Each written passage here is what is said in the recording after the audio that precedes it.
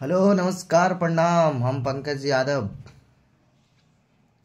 आप लोग को बताना चाहते हैं, मनीष कश्यप सन ऑफ़ बिहार के बारे में कुछ काली करतूतें। उन्होंने जब सरकार गिरी बिहार में तो बोले, सर, आपको क्या लगता है, हम सरकार नहीं गिरा सकते हैं? और फिर उनका एक वीडियो आता है, जिसमें बोलते हैं कि हमको सरकार गिराने से कोई मतलब नहीं।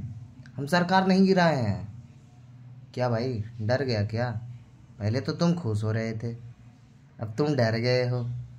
आई तुम डर गए हो, डर गए हो। झूठ मत बोलना, झूठ मत बोलना। ये डर अच्छा लगा। ऐसे डरो। है समझ में? और बात करते हैं। देखो भाई, जो अच्छा करेगा, उनका अच्छा नाम लिया जाएगा। तेजस्वी प्रसाद यादव जी अच्छा काम कर रहे हैं। उनका नाम लेंगे हम। लालू प्रसाद यादव जी, उन्होंने गलत किया, किस मकसद से गलत किया, क्यों किया? ऐसा नहीं है, भ्रष्टाचार बिहार में आज से शुरू हुआ है। अगर भ्रष्टाचार आज और कल से शुरू होता तो इतना कम नहीं रहता। बिहार आज सबसे आगे रहता।